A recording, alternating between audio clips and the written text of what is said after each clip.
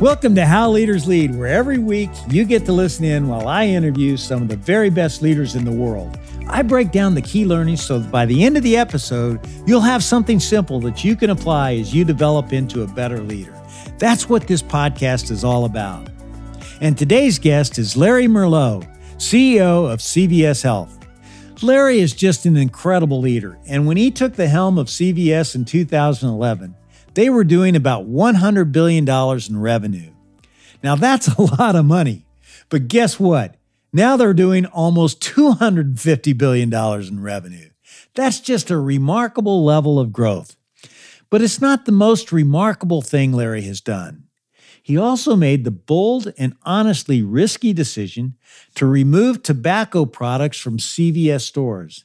And he did that even though they accounted for $2 billion of revenue. He'll tell you the whole story, and it's incredible. But I really want you to listen for why he and his team made that decision in the first place. It came from a very simple statement of the purpose of their company, literally eight words, and it changed everything for them. As leaders, we all need the reminder the best vision in the world ain't worth a lick if our team can't connect with it and apply it each and every day. This conversation with Larry shows us just how to communicate our big ideas in simple, compelling terms. So here's my conversation with my good friend and soon to be yours, Larry Merlo.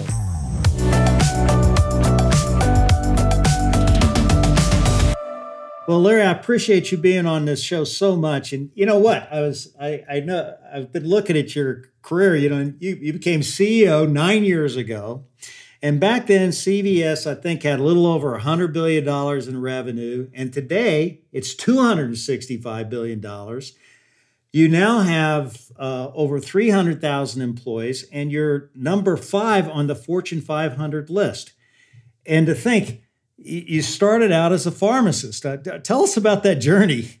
Well, you know, David, it, uh, it, it brings back a lot of memories. I, I, I grew up in a in a small uh, mill town. Uh, there was actually a Corning Glassworks plant that most people worked at. And if they didn't work there, they worked at the Wheeling Pittsburgh steel plant across the river.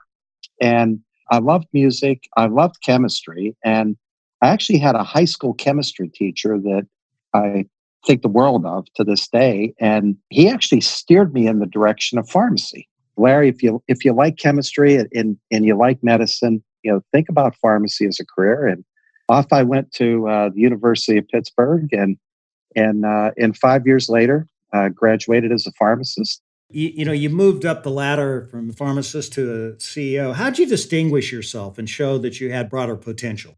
That's a great question, and and uh, you know, oftentimes you get that question. Well, when you started, did you have aspirations to be CEO? And and my answer was no. I really had aspirations to be the very best pharmacist. And as you got into that environment, you saw opportunities for growth. And I had always set my goal in terms of well, I went from being a pharmacist to getting into management and field management and operations. And I think one of the things that helped shape my learnings is that I was never afraid to raise my hand for a special assignment. And maybe it didn't result in a promotion, but it actually took me out of my comfort zone.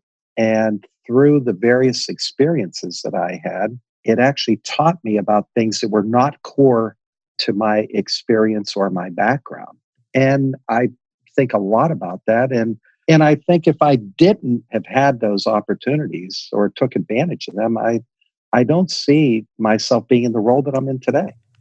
Did you have Larry when you were taking on those special assignments? Did you have one of those that really sort of changed your career trajectory? When I graduated from pharmacy school, I went to work for a drug chain that many will remember in the Washington, D.C. area called People's Drug. It was actually founded in 1904, and this is now 1978, and had a wonderful experience there. And 12 years later, CVS actually acquired the People's Drug chain. That's you know that's how I got to CVS, and through consolidation activities, which we can all appreciate, um, I found myself as the most senior person that remained in the Washington D.C. area, hmm.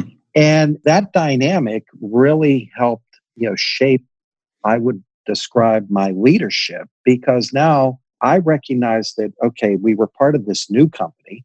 There were many things that CVS did differently than, than People's, many things that were very positive, and some things that, you know, oh, this isn't going to work in the Washington, D.C. market. And I found myself playing that role, that leadership role, in terms of how do I help educate my boss and our new owners in terms of things that I think may be contradictory to that particular marketplace.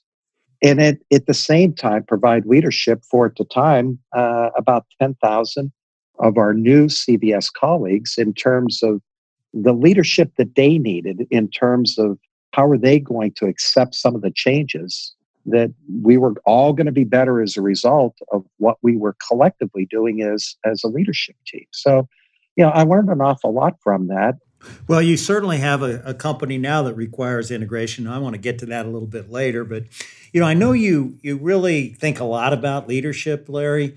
Uh, can you tell us a couple stories uh, about your personal guiding principles of leadership? Because I, you know, I understand that uh, you know, doing a little homework, that you actually have ten guiding principles. We don't have time for ten, but do you have a couple stories on on a few of the main ones that uh, you could share with us? Yeah, and you brought up the the ten, and you know, when I became CEO, that was back in in uh, in early 2011, and I still remember it was a Sunday night, and and I'm thinking a lot about, you know, how do I get started? It's an organization that I know, and, and it's an organization that our colleagues know know me and who I am. But obviously, I was succeeding a very successful individual. My predecessor had been in that role for more than 15 years and was very well respected across the organization. And how do I get our colleagues to see me in a different light as the CEO? And that was the question that I was really wrestling with. And I still remember that Sunday evening, just scribbling a whole bunch of random thoughts. And those thoughts ended up being 10 things that I believe in that I think have helped shape me as, as a leader. And, and, and David, one of those stories is I think about finding the sweet spot between being student and being a teacher. And yeah, and I think the higher you you move up in any organization, I think there's an expectation that you have all the answers. And the reality is, as the CEO, you don't. And I believe a strong leader takes pride in being both a student and a teacher. And being that student means that you're displaying humility, okay? And at the same time, uh, you're a good listener. And it's something that I have really tried to stay true to and sometimes it's hard because in times of crisis, people do expect you, well, Larry's going to have the answer. He's going to know exactly what we need to do. And there are times when you have to turn around and, and, and acknowledge that, look, I don't have the answer, but here's what we need to solve for, and here's how we're going to go about doing that. And I have found that that guiding principle has, you know, has served me, and I believe served our organization very well. That's fantastic. You know, I just love that. I love the fact that you codified your 10 principles too. The student as teacher is a way how you can solve problems. You know, how do you how do you take your team through solving a major major problem? What's your perspective on problem solving? I think oftentimes, and, and look, I'll, I'll raise my hand. You know, I've made the mistake that sometimes you see the problem in front of you and let's move quickly, being action oriented. And I've made the mistake sometimes in terms of the desire to to deal with or to solve whatever issue is on the table that everybody jumps in with both feet and you later realize you solved for the wrong problem. And we talk a lot about look, take a deep breath, take a few minutes, and make sure that we understand the problem that we really need to solve for. And then the second step is how do you define the guiding principles? in terms of going about that. Because one of the things that I've come to appreciate, there there's so many things that come across our desk that perhaps the playbook has not been written, and you're charting a new uh, a new path forward. That's especially true at CVS as as as we have worked to reinvent ourselves and change our business model to be more not be more be a health services company and we spend a lot of time what are the guiding principles that we will move forward to solve whatever is on the table. And we use those guiding principles as our guideposts, kind of our roadmap that as we're dealing with the unknown, I, I, find myself oftentimes going back to those guiding principles and how many of those can I check the box on? And and you know, if if the answer is none, then that tells me I'm I'm on the wrong road. Okay. If the answer is no, you know what? I might not have checked every box, but I'm moving down the right road and and let's keep going. I love that idea of, of taking a deep breath. You know, there's so many times I could tell you when I, I just went charging ahead and needed to take a little bit of a time out. When you became CEO, a lot of us we we get into these new jobs and eh, what was the biggest anxiety you had to work through when you became the the, the new CEO? You know, eh, I think one of the things that uh, that we wrestled with uh, and and some of this goes back to what we were just talking about in terms of our evolving strategy as a health services company. I remember, you know, sitting down and looking at uh, at the time we had our mission statement and our vision statement. As I think back on that, uh, I, you know, we made the mistake of involving you know the consultants and and look uh, there are times where consultants are invaluable and there are times where you know what you don't need a consultant. And if you're going to do it right, you need to do it from within. And we had these very carefully worded paragraphs. And when you read them, it felt like we were solving for world hunger. And I could remember one of the very first leadership meetings that we had.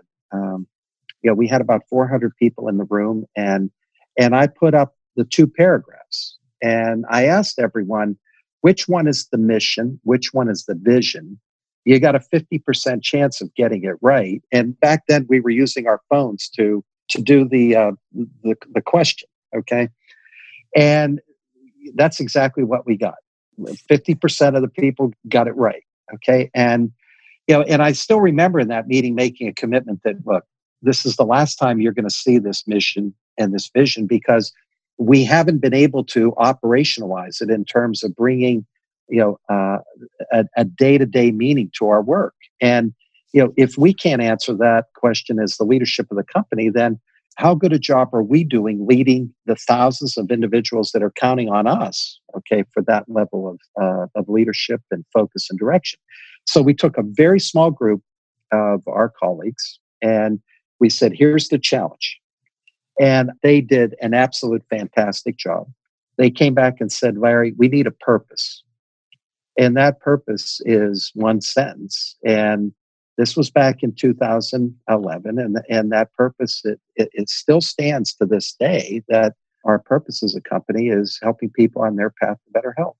That's, and, that's so simple. You know, it, it, it's simple.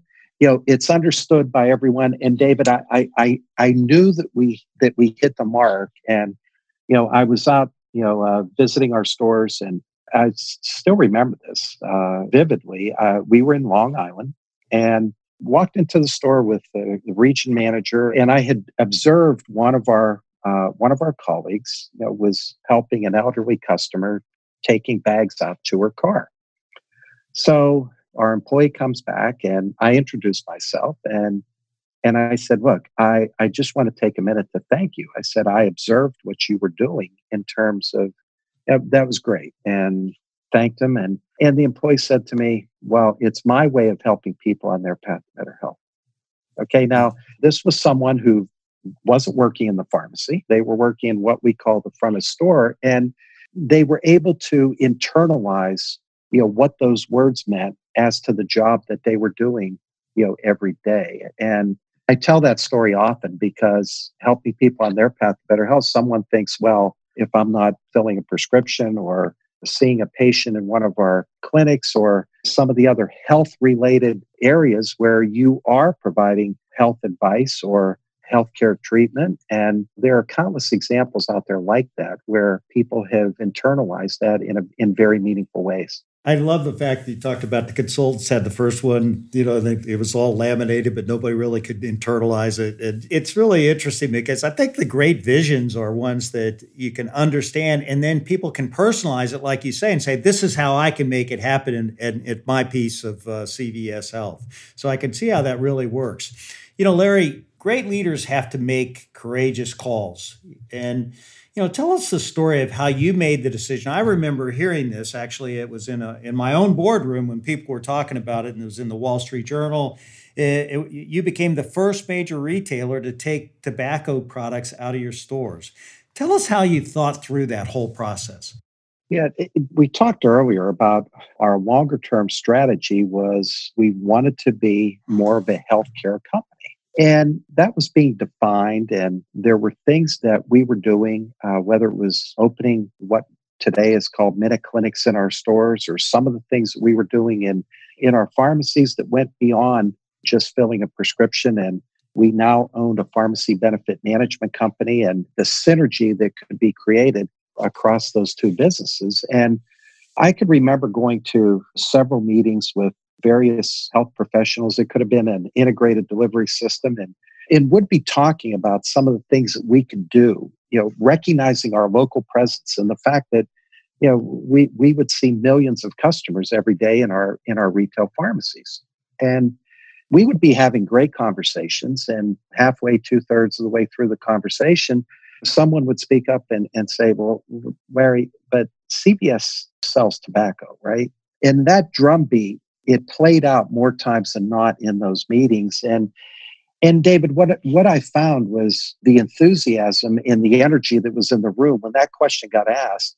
It just sucked all the air out of the room. You felt like you wanted to crawl under the table. And oftentimes the meetings ended with thanks for coming. And that was a very interesting conversation. And the follow up was, yeah, we were really never able to get any momentum from those uh, from those discussions.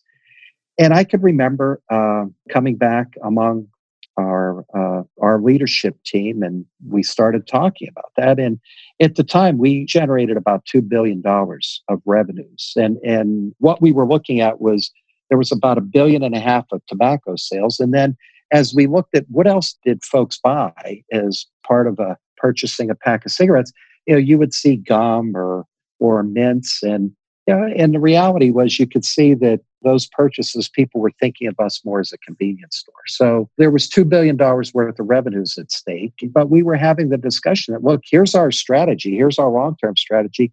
This absolutely has proven to be a barrier in terms of getting any traction. I remember we put a whole presentation together. We very quietly went out and surveyed some health professionals. And the one thing that I was extremely concerned about is that hopefully everyone is you know shopped in a CVS pharmacy, but we sell candy, uh, we sell chips, we sell soda, and and uh, and we even sell you know spirits and alcohol in states where it's permitted.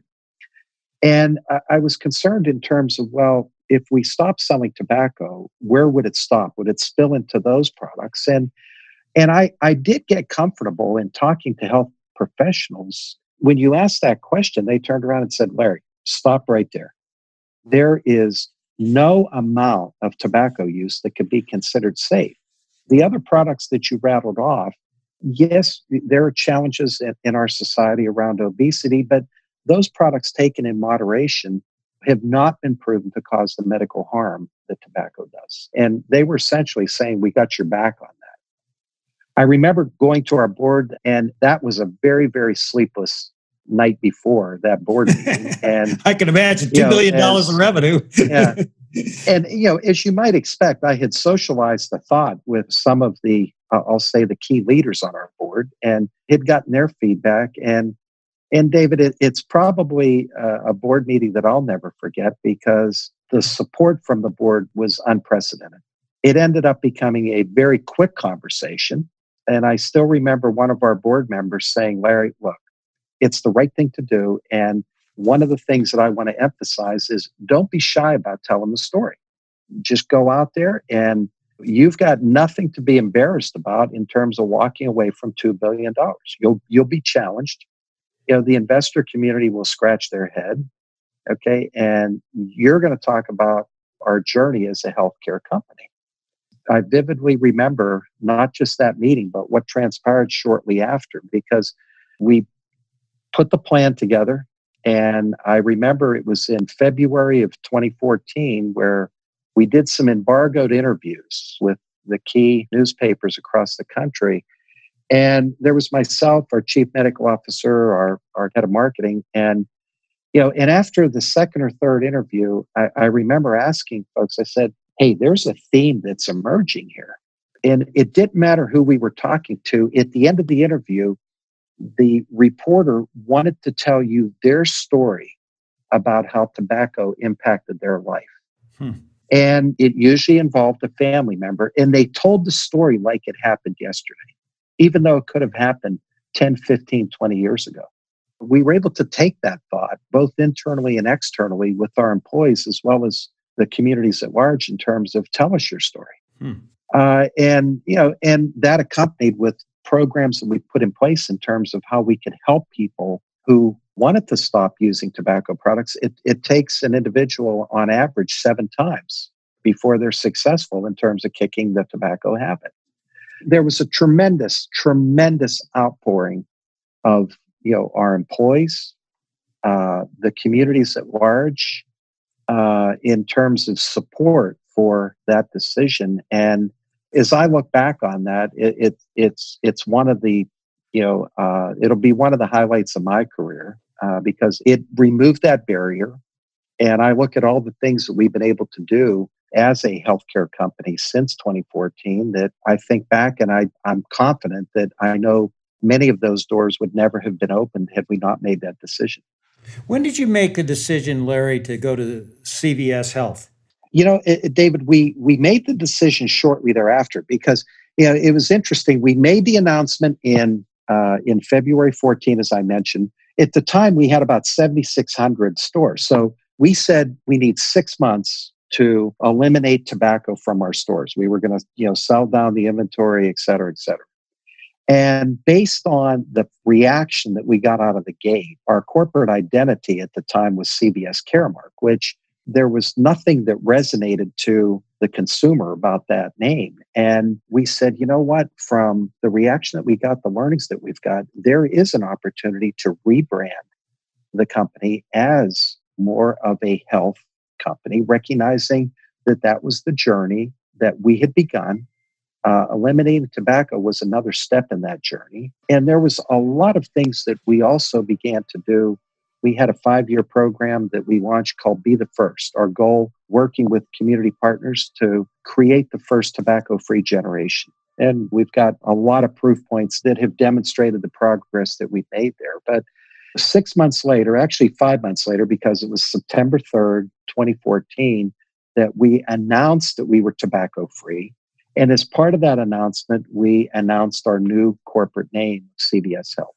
Huh, great. That's that's a great story. You know, you talked about how everybody has a personal story with tobacco. I understand that you you have a personal story. Your father died from cancer, that's cigarette related disease. Yeah, David. He was uh, my father passed away at uh, at a young age. He was fifty seven. Uh, mm. Died of cancer. He worked in the glass factory and he chewed tobacco during the day and he smoked cigars in the evening. So he either had a, a, a chew going, okay, or that cigar was uh, was attached to his lips, whether it was lit or not. Uh, and look, he was a wonderful individual, and I regret the fact that he died at such a young age, and the time that that took away from the two of us being able to spend time together as uh, you know myself as a young adult, and uh, think about sure. him often. Yeah, I'm sure you do. You know, and now, Larry, as you've evolved as a, a, a health services company, you've got a really interesting model. It's totally unique in the industry. It's an interconnected model where you have over 10,000 pharmacies. You've got Aetna Insurance. You've got a pharmacy benefit management company. How are you bringing this whole company together and, and what's your vision here? Well, the vision is, you know, uh, obviously everyone sees the challenges that exist in our healthcare system today. It's it's it's very uh, it's very complicated and can be confusing to to access and, and and navigate and and it's become you know very costly and and unfortunately unaffordable for many. And as we think about how we can change the way care is delivered in the country, we we really think about you know three imperatives that are associated with that and you know the first one is to make healthcare local and to meet people where they are whether it's in their community in their home or now in the palm of your hand. Uh, the second is to make healthcare simple. And we believe that you know we can provide uh, the information and the navigation so you know people can can access what they need and the resources that they need to make uh, an informed decision. And the third, and, and we think about this one, David, as, as being our North Star. And go, go back to that purpose of helping people on their path to better health. And, you know, you look at uh, today that we got about two thirds of our country that has one or more chronic diseases. Uh, we know their names. You know, it's hypertension, cardiovascular, diabetes, asthma. You know, and there are eight or nine of those chronic diseases that are accounting for anywhere from 75 to 80% of all healthcare costs. And yet, those individuals with chronic disease are not achieving uh, their, their best health outcome. And I was sharing this story with, with someone, and they stopped me in the middle of it and they said, Larry, it, it, it sounds like you want to cure diabetes. And I said, Well, we're, we're not going to be able to cure diabetes. I said, We'll, we'll leave that to the researchers. But we can help the 30 plus million individuals today that have diabetes. We can help them achieve their best health, making sure that they're staying adherent to their medications, they're getting their the appropriate frequency of blood testing, that they're following the instructions that they may have around you know diet, nutrition, and exercise. And and, and David, we look at, at our healthcare system today that that individual may be visiting their physician on a quarterly basis, and, and maybe it's even less frequent, and they leave with that care plan, and the system fails, you know, way too many people because no one knows if that care plan is being followed until an unintended consequence happens. And at that point, we would sit here and say it's too late. So those are the imperatives that we have, uh, you know, uh, as an organization to you know change the trajectory of care and and in doing so help people achieve a better health outcome and and at the same time reduce overall healthcare costs the the, the one thing that has been interesting and obviously uh, as a country we've been dealing with several crises over the last three months and you know the covid-19 pandemic being you know front and center for many. And we have seen our strategy come to life in very meaningful ways. And you know uh, across you know all three of those dimensions of community in the home and in the hand. And you know uh, we've all heard about the need for testing and and we have been able to bring testing into communities uh, you know all across the country. We've now tested uh, as we sit here today over 400000 individuals in communities uh, and we have brought testing into the underserved communities where you know we've seen the population health data where uh, you know the, the the COVID 19 virus is disproportionately affecting you know, the minority populations. Uh, the, the second thing is we, we've seen the pressure that uh, the pandemic has put on hospitals, and we have worked with hospitals. Uh, we actually have a home infusion company to you know, work collaboratively to discharge patients back into the home you know, earlier than perhaps uh, they would under normal circumstances. And We've now made 80,000 visits uh, into individuals' homes, providing infusion therapies, you know, in the comfort and convenience of their home that would have otherwise been delivered from within the hospital. And we freed up important uh, bed capacity as a result. And then we've seen a dramatic increase in the utilization of, uh, of telemedicine, uh, where people are accessing information, they're accessing uh, care off of their iPads, their iPhones, or their desktops. Uh, so you know, those are three ways that we have seen our strategy uh, being accelerated as a result of the the pandemic crisis. Well, Larry, congratulations to you and your team for the great job you've done stepping up with COVID nineteen. It's it's been amazing and certainly appreciated by so many. You know, and I thought that you, as a leader, did an absolutely terrific job working with President Trump to to help form that private public partnership to get our our country through the testing process. How did that how did that come about and, and how did you see your role as a leader during that? I'm glad you brought up uh, you know public private partnership because you know there there's there's so much that gets discussed about should the government do this government do this and and and we talk a lot about you know the role of the private sector and and and I believe that your question is is a perfect example of the importance of public private partnership, that the government can write the rules and establish the guardrails, if you will, but you know, handing things off to the private sector, think that's where competition, innovation becomes so important. And the one thing that I would uh, that I'm extremely proud of is we talk about the work of our CVS colleagues, and I could not be prouder of how they've stepped up, you know, to the challenges that you know that you know this you know has created as a business, but acknowledging that the same challenges that we've all dealt with as individuals in our personal lives, our our colleagues have been you know dealing with those same challenges, but have stepped up and, and done phenomenal things in supporting their customers and and the communities in which we live and serve. The, the second thing that I'll mention is you know, within industry, sure, we're we're competitors, but I'm also very proud of what we have done as an industry. Uh, you know, we've been on the phone many times, uh, sharing our experiences and and learning from one another, and you know, all for the betterment of you know the the individuals that we're serving. And uh, you know, I, I, I think it's something that again uh, we can and should be proud of, and you know, I, I think something that will carry us forward even after we get this pandemic behind us. And speaking of that, Larry, how are you? Are you doing anything now from a proactive perspective in terms of planning for when we get the vaccine?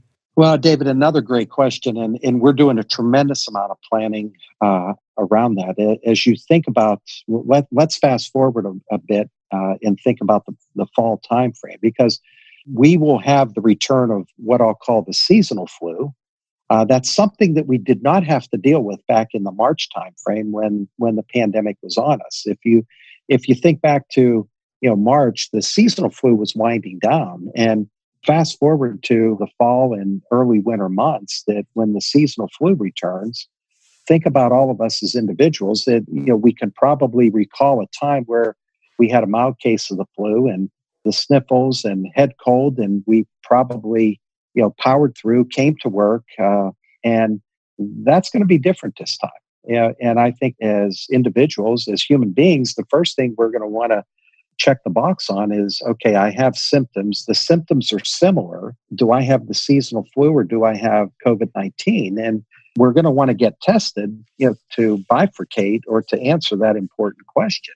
Uh, the second thing, David, that you know we all talk a lot about, you know, it's time to get your flu shot, and we know less than forty percent of individuals, you know, get the seasonal flu vaccine.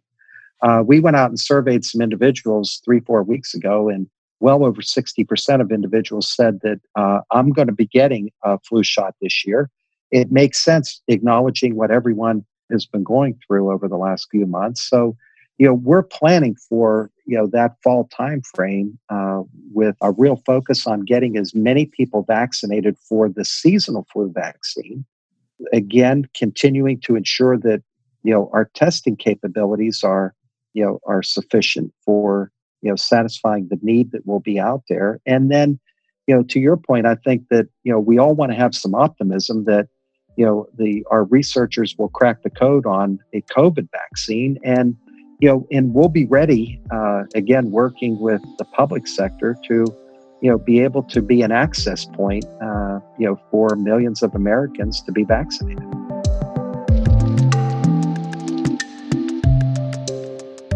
Our country, we've been through so much this year, 2020. It, we're now in the midst of protests and riots due to the brutal death of, uh, of George Floyd. How has this impacted CVS and, and how have you as a leader uh, stepped up to, to make whatever statement needed to be made for your company? Uh, it's a very important time, uh, I, you know, in, in our company and, and in society in general. That uh, you know, and, and uh, there there's something different, um, you know, this time. Uh, you know, it, it, unfortunately, it's another example of you know of of an act of I'll describe it as uh, you know inhumane treatment of an individual that we have seen um, play out multiple times uh, you know over the last few years and and I know that uh, you know, we've held town hall meetings we have you know colleague resource uh, groups and uh, you know and I've met with our black colleague resource group and know and look we've talked openly in terms of what we've seen uh, you know, I believe that there's a different level of transparency that, you know, that exists, you know, in these conversations that we're having. And as the leader of, of CVS, you know, there's a new lens that we're approaching,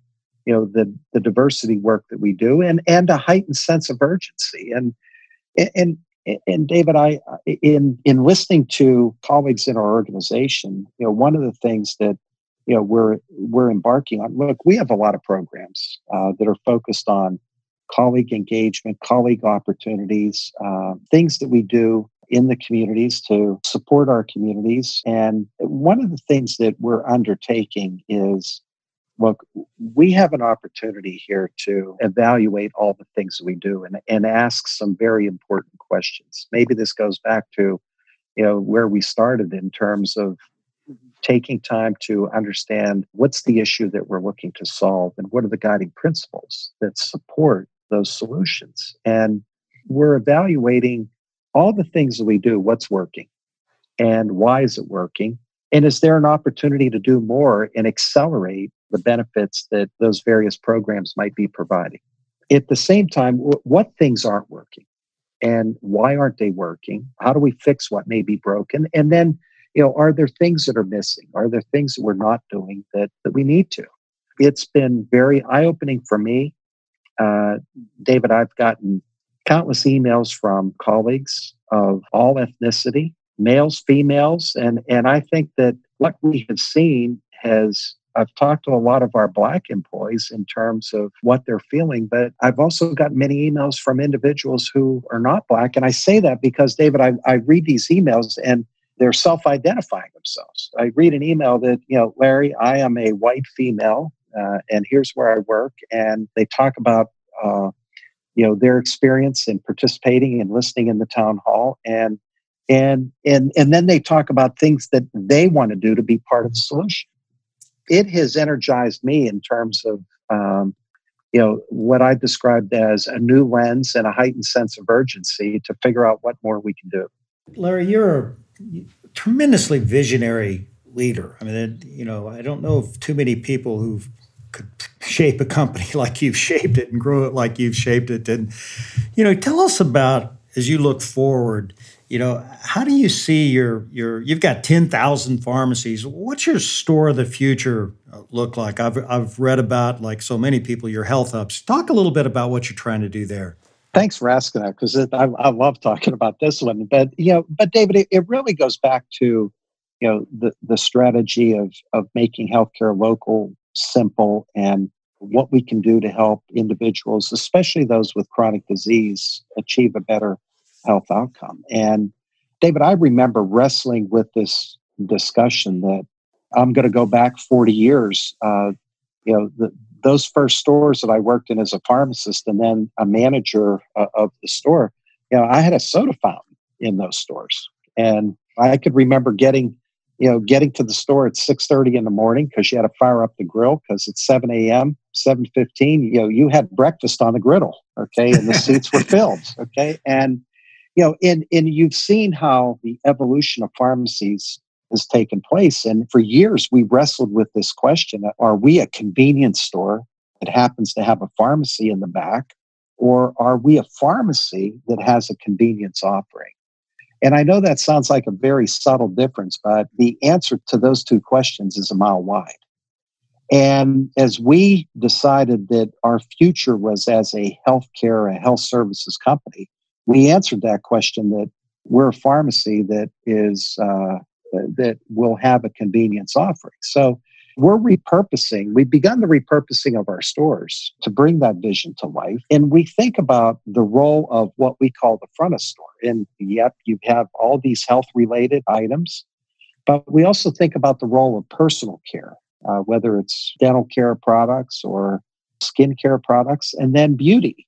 Uh, and you know those three categories: health, beauty, personal care.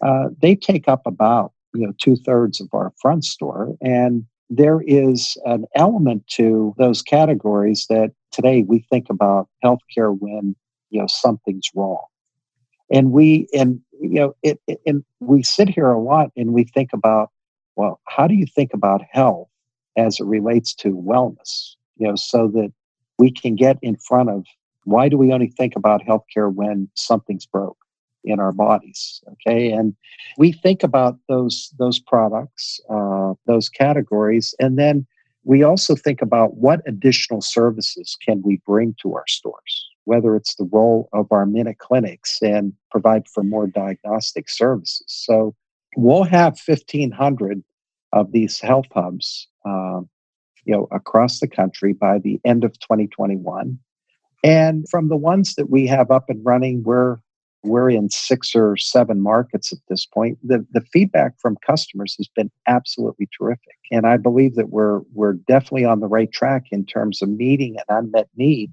uh, that exists in the eyes of many of our customers today.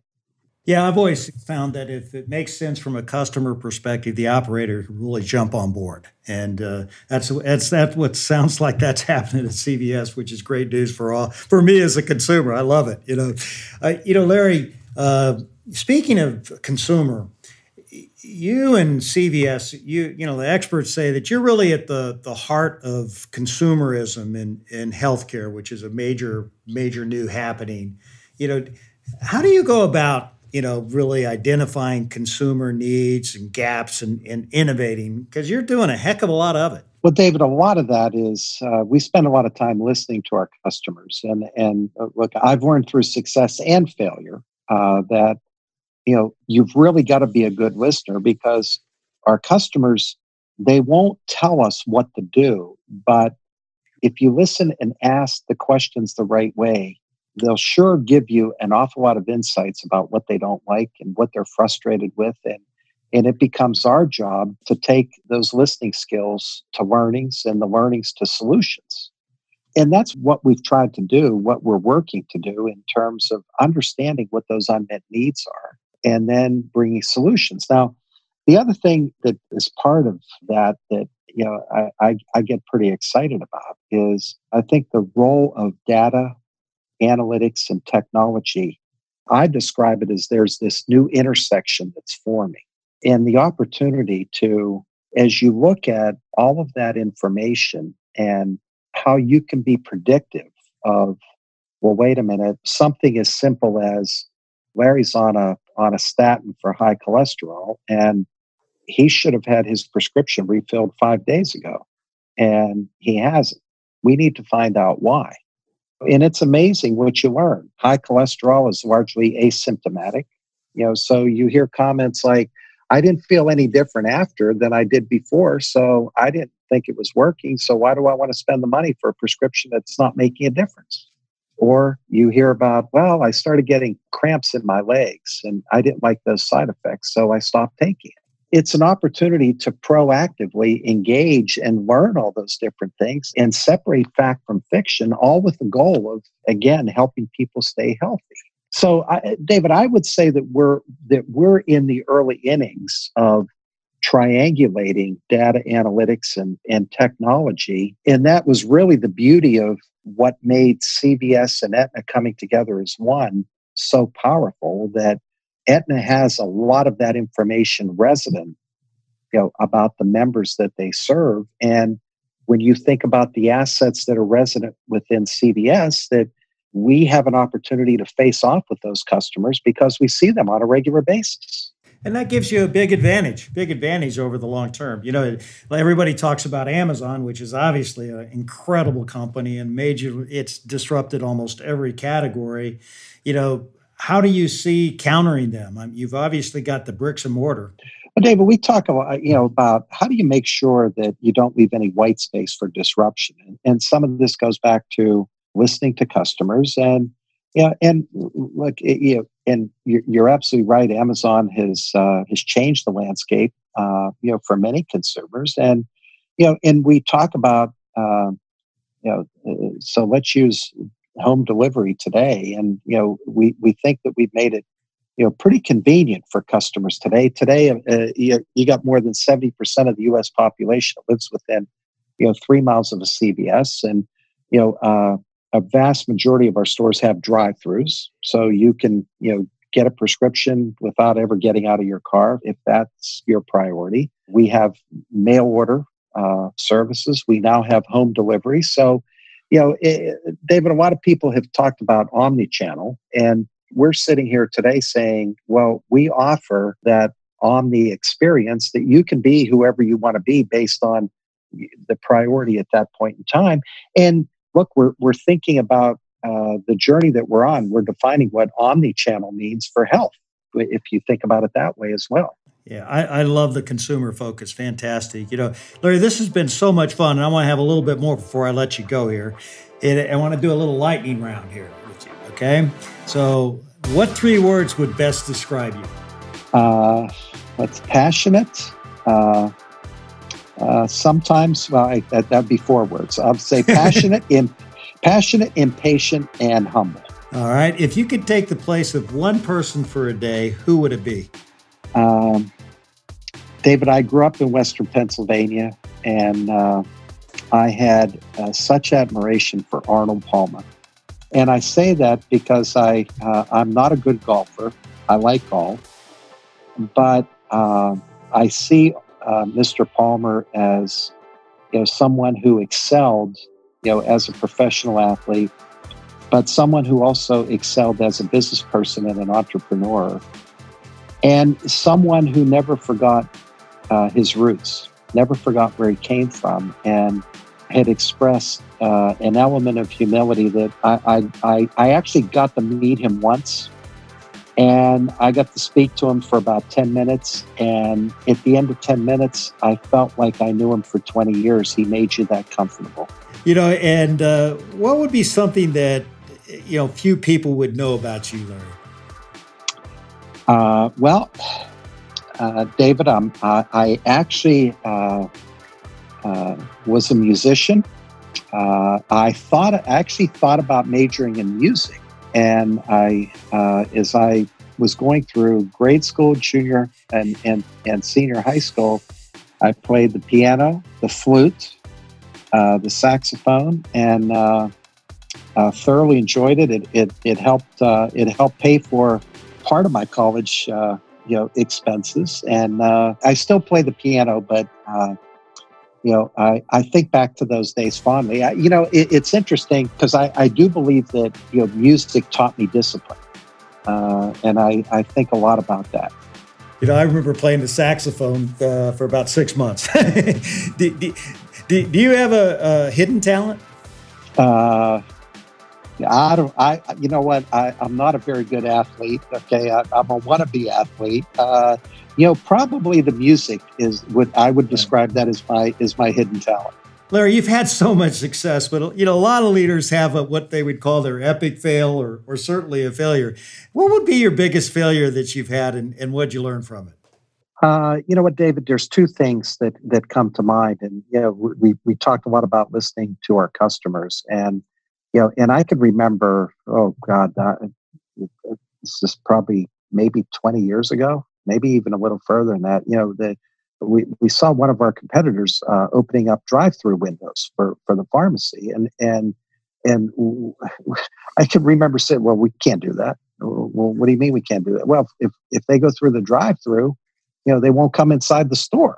Okay, and and the learning from that was, well, look, if they want to use the drive-through and you don't have it, then they're not going to come to the store anyway because they're going to go to somebody who does. And right. and and and that was an important learning that you know if you you got to meet the needs of the consumer you know or they'll find someone who does. And the second thing that comes to mind in that is you know we talk a lot about uh, you know about innovation. And and i think that um, this is probably a a bigger issue than an individual failure as as as an organization. You know we would sit here and talk we have a wonderful culture and uh, but you know why are we so slow at innovating? And and what we realized was well that there's fear of failure because of you know our culture gets in the way of you know our culture supports that kind of success and people want to do the right things. And but we haven't made it easy for people to fail and hmm.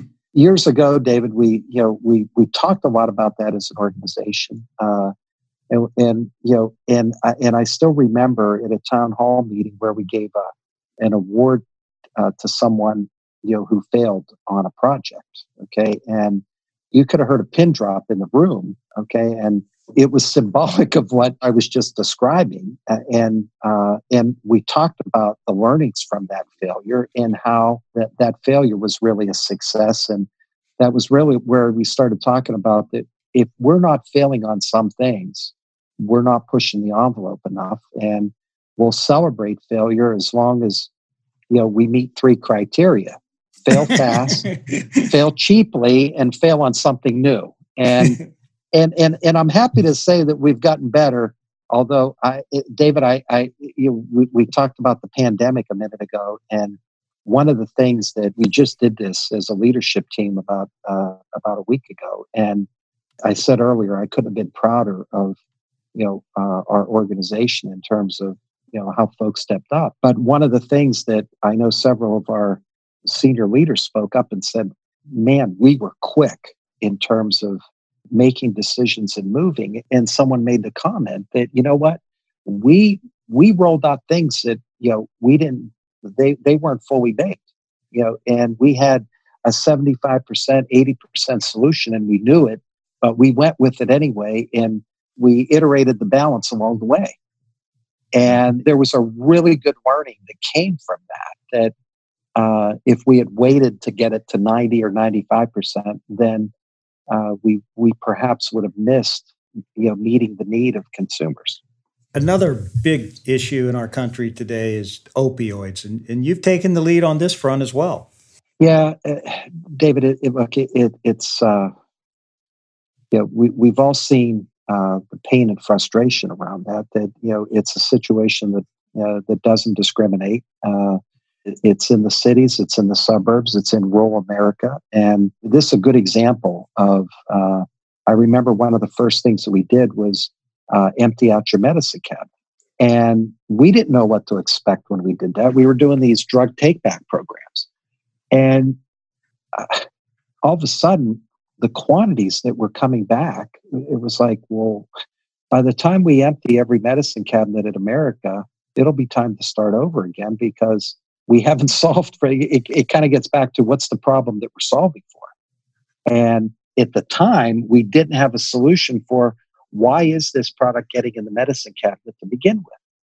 And when we realized that we went back and and one of the things that we found and, and probably everybody has an example of that that you know whether it's going to the dentist or somebody has an acute injury and they walk away with a with a prescription for you know 30 or 60 pain pills. And the reality is you know they might need you know six or eight uh, because it's it's acute short-term pain. Uh, and those unused quantities is what was ending up in the medicine cabinet. And unfortunately those were becoming a source for how people were entering the opioid world to begin with. So one of the actions that we took is uh, you know, if if, uh, if someone was new to therapy, you know, we were not going to dispense uh, any more than a seven day supply. And and look, we over, over the last few last several years, we've seen a dramatic decrease in both the number as well as the quantity of opioid prescriptions uh, that we have dispensed. And look, we think that that's made a, a meaningful improvement, but yeah, look, we, we still have a lot of work to do there. Uh, our pharmacists have gone into communities. We've we've gone in and, and done. Uh, our pharmacists have gone into schools and have now touched more than a half a million students in terms of talking about you know the dangers of prescription drug abuse. That's great. Well, Larry, one thing for sure, you have a tremendous talent of building a tremendous business, and uh, you know, I don't know of anybody who's who's grown their business 150 billion dollars in revenue in nine years. That's that's really really something. And uh, so hats off. Uh, just one last question here. You know, what would you say about your upbringing and and just your personal family situation that that that uh, is really driving who you are today? Uh, David, I th- you know, I think about my my upbringing, and uh, look, I, I was fortunate to be the first uh, member of my family to go to college, and my parents they taught me the value of a strong work ethic and the value associated with um, being a good human being. I've always worked hard to do that. And uh, I think embedded in there is it was something that struck me back to speaking about Arnold Palmer. And one of those things I believe in is, you know, don't forget where you came from. And in thinking about individuals that had an impact on on your life, whether it's in your business life or your personal life, and the responsibility that we have as adults and as business leaders to pay that forward. And my wife and I have one child, and we're proud of her as well. And I see those those values in her as well. So that's something that uh, that I take a lot of pride in. Well, fantastic, Larry. You know, this has just been amazing, and uh, thank you for sharing your insights with uh, with other leaders. There's so much we can all learn. So, thank you very much. Now, David, enjoyed doing it. Enjoyed the discussion.